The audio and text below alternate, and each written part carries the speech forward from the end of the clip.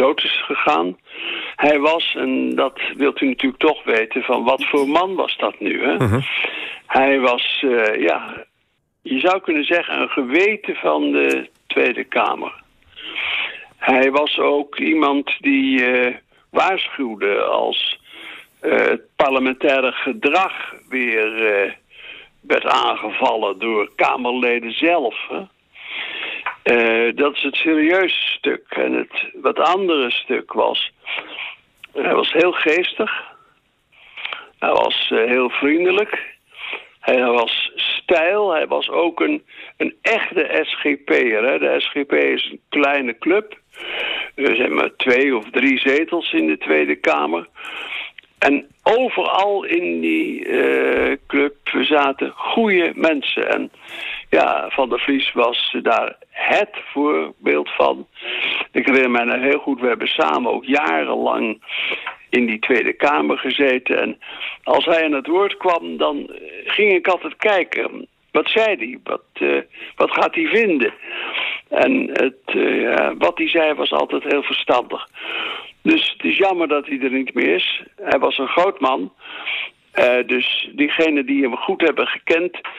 die zullen zeggen, ja, zo was het ook. Toch is dat opmerkelijk, dat, want dat zien we eigenlijk ook met zijn opvolger Kees van der Staaij. Eh, SGP is eh, van oudsher balanceerde tussen de twee en de drie zetels. Hoe kan het dat zo'n partij, waar toch ook vele andere partijen... toch fundamenteel mee oneens zijn, toch zo'n ja, opmerkelijke impact hebben in de Kamer? Want dat zien we nu ook bij, bij Ja. Van der Staaij. Ook met die twee zetels, als hij spreekt... is er een soort extra attentie in, in, in de Kamer. En, en bij Van der Vlies, zijn voorganger, was dat al helemaal zo. Hoe, hoe verklaart u dat, met zo weinig zetels?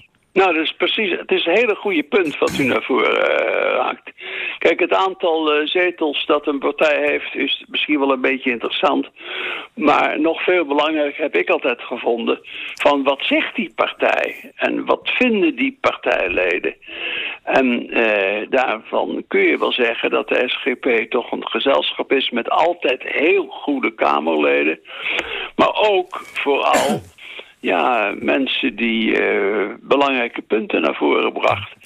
En waardoor je, eh, ook al vind je heel wat anders, dat je toch kunt zeggen, ja, eh, het is verstandig wat er naar voren wordt gebracht. Meneer Wiegel, tot slot even. U, u zal natuurlijk met al uw politieke ervaringen op het Binnenhof... natuurlijk een vat vol met anekdotes zijn. Maar als er één anekdote in uw geheugen opkomt... die karakteristiek is voor meneer Van der Vliet, wel- welke zou dat zijn?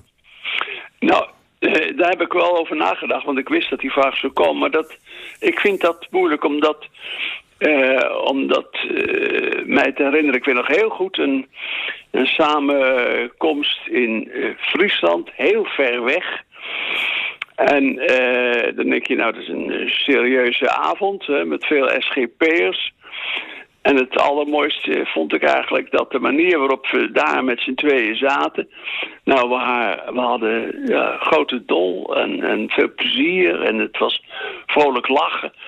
En dat verwacht je niet van een SGP'er. En dat was bij hem, bij Van der Vlies, was dat wel zo. En eh, ja, dat is mijn herinnering. Meneer Wiegel, ik ga u hartelijk danken. Dank voor deze bijdrage. Goedenavond. Oud-partijleider van de VVD.